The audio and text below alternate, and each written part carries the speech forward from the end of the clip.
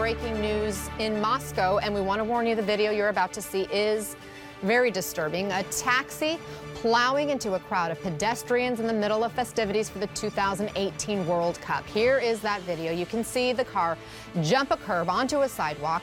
It hits a group of people before striking that traffic sign, and then bystanders rush to the car to try to open the door. Watch this. The driver, he jumps out and runs away. He has since been detained and is being questioned by police. Our Matthew Chance is on the scene. Live for us in Moscow. Matthew, it appears that street has reopened behind you. Do we know yet whether this was intentional? Um, we, we do, in terms that the, the, the authorities here are saying that, that, it wasn't intentional. I'm just reading some um, uh, word that's come from the Russian Interior Ministry, sort of police force here, uh, saying that according to the person responsible for the road accident, it was unintended.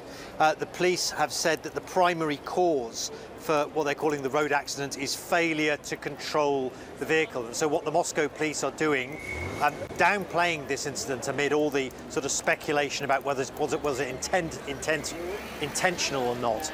They're saying they've opened a, a criminal investigation into a road traffic accident. But take a look uh, at that video. You can see, and it's this pavement right here that I'm standing on.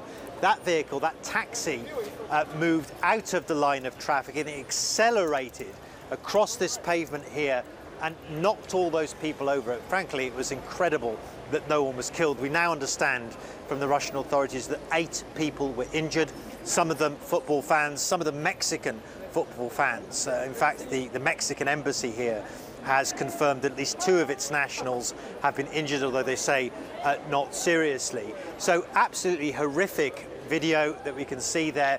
And even though apparently, according to the authorities, this was not terrorism, this was a, this was a traffic accident,